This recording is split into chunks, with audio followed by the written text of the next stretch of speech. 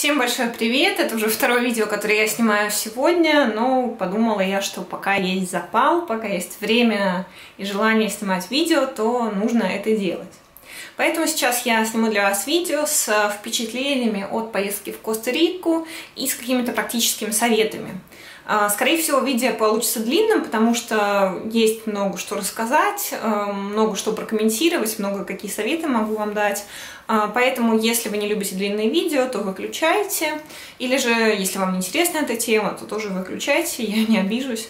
А тем, кому интересно послушать про наше путешествие в Коста-Рику, вообще об этой удивительной стране, и какие-то, возможно, советы, я знаю, что есть зрители, которые собираются туда, то тогда оставайтесь. Итак, первым делом, что хочу сказать, эм, если вас забанили в Гугле, э, немножко расскажу об этой стране Коста-Рика.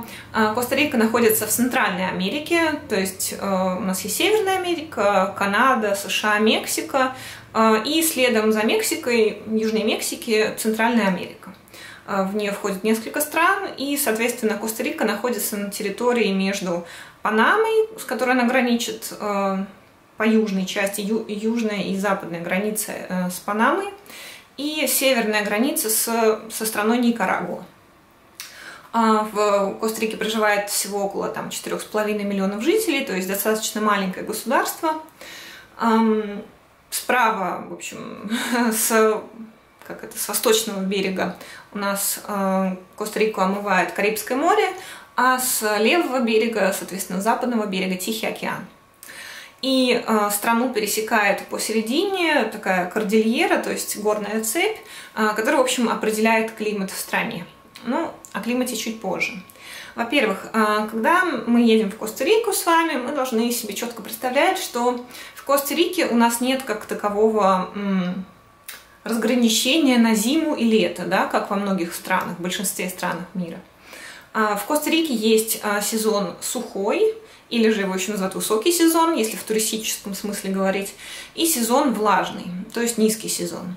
Мы ездили э, в Коста-Рику в сентябре, это считается низким сезоном, то есть сезоном повышенной влажности. Что это значит? Э, сухой и влажный сезоны различаются количеством дождя, естественно, который, количеством осадков, которые выпадают на территории Коста-Рики. А, это не значит, что если вы поедете в сухой сезон, то дождя у вас не будет. Совершенно нет. Скорее всего, он будет у вас идти, но значительно меньше, чем это в мокрый сезон происходит, во влажный. Например, нам рассказали местные жители, да, кстати, э, государственным языком является испанский, э, на нем говорит э, все население Коста-Рики.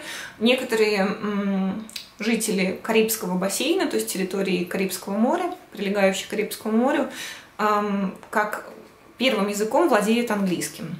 Он немножко странный, такой креольский английский, но, в общем-то, английский. И на английском говорят во всех туристических местах, то есть куда бы вы ни поехали, э, если вы не знаете испанского, то э, английский они владеют замечательно.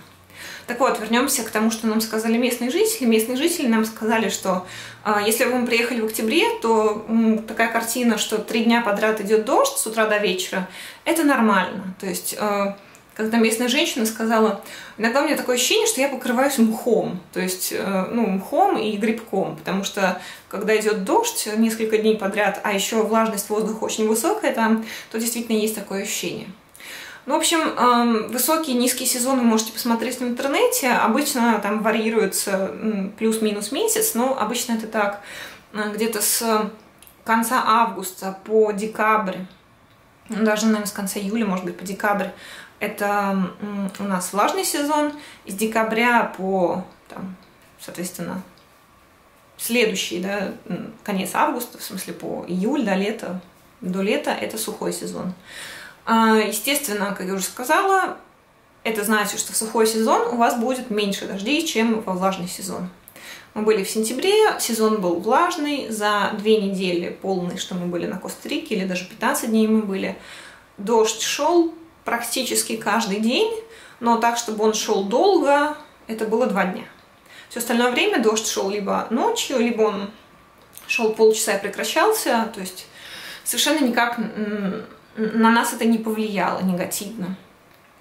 Но зато повлияло позитивно в том плане, что туристов было достаточно мало. Нам сказали, что в декабре, когда самый высокий сезон считается в Коста-Рике, когда больше всего народу ездит в Коста-Рику. В декабре просто не, ну, не протолкнуться на улицах туристических городов, каких-то городов, где есть отели. А, народу очень-очень и очень много. Туризм составляет э, одну из самых важных строк экономики Коста-Рики.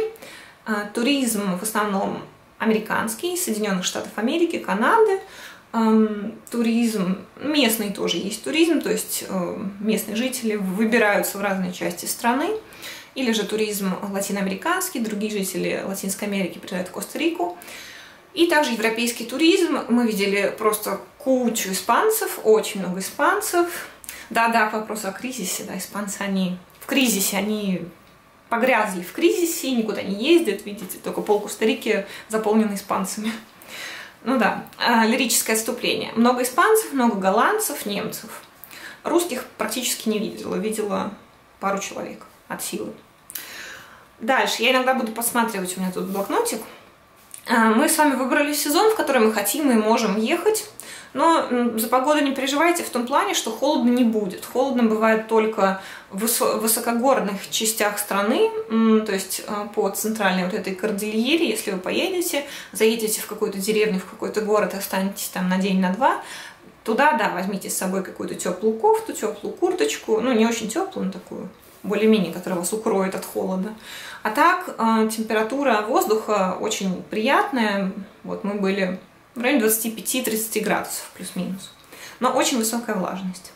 Итак, мы выбрали с вами сезон, дальше мы выбираем билет на самолет.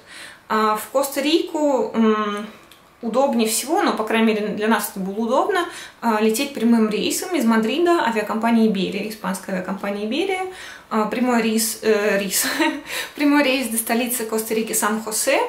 Нам он обошелся порядка 600 евро с человека, туда-обратно. А, без пересадок, то есть туда 10 с половиной часов, обратно 11, что-то такое. Очень отлично мы летели, туда был самолет немножко старый, обратно уже новый, с эм, встроенными в каждое кресло экранами.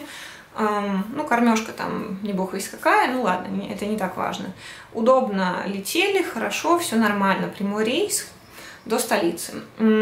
Есть еще один международный аэропорт э, в Коста-Рике, в городе Либерия, но туда, по-моему, а, Иберия не летает. Как еще можно добраться до Коста-Рики? Я слышала, что голландская компания KLM, по-моему, так называется, а, летает в Коста-Рику, наверняка из Амстердама, я так себе могу представить, наверняка тоже прямым рейсом. Или же еще вариант лететь через Соединенные Штаты Америки, обычно это пересадка в Майами или что-то такое, обычно в Майами, да. Не знаю, какими авиакомпаниями, могу себе представить, что какая-нибудь Дельта или что-нибудь такое – тоже так люди ездят. Но тогда вам, наверное, нужна транзитная виза в США или что-то в этом духе. Мы летали Иберии, и, в общем, э, ценовой политикой и самим рейсом остались довольны. Далее, что может еще быть интересно в Коста-Рике? В Коста-Рике, в общем-то, на мой взгляд, э, это просто не неправильно и не некорректно думать о Коста-Рике как о такой типичной э, пляжной стране, то есть, как, например, республика, Доминиканская республика, да, в которую ездят люди, чтобы поваляться на пляже, пожить в отеле, все включено, э, может быть, там выкурить марихуану или что-нибудь такого. Э, ну, в общем, провести э, такой тюленей отдых, тюленей отпуск на пляже, потому что, как мне рассказывали, в Доминиканской республике делать больше нечего. А, или там на Кубе, да, на Кубе, может быть, и есть что посмотреть, но, опять же, не, не так уж много достопримечательностей, э, которым можно посвятить время. А, но Коста-Рика это совсем другой случай. И я хочу вам сказать, что это все, все, что я говорю, это лично мое мнение, и это все, все, что я рассказываю, основано на нашем опыте поездки. Если у кого-то есть другой опыт поездки в Коста-Рику или опыт там, друзей и знакомых, то я ничего не имею против. Я говорю только о том, как, бы, как у нас было. Так вот, согласно нашему опыту, поездка в Коста-Рику, она не может быть никак воспринята в качестве пляжного отдыха валяться на пляже две недели, никуда не вылезая. Это просто преступление. В Коста-Рику надо ехать, чтобы смотреть. А, если вы посмотрите на карту Коста-Рики, вы увидите, что большую территорию, самую основную часть территории страны составляют заповедники, национальные парки. Вы представляете себе, что такое поехать в страну с такой богатой природой, богатейшей природой, и не посмотреть ничего, и проваляться все время на пляже? Ну, конечно же, нет. Конечно же, нужно ехать и нужно объезжать страну. То есть, э, по возможности побывать в разных точках, Эм, ну, у кого как позволяет время, деньги, финансы, здоровье, да, ну, хотя бы несколько остановок сделать. Маршрутов масса. Маршруты, э, вы можете зайти, например, на форум Винского или на любой другой туристический форум, найти тематический форум Коста-Рики, там будет миллионы вариантов маршрутов. Э, на самом деле это не так важно.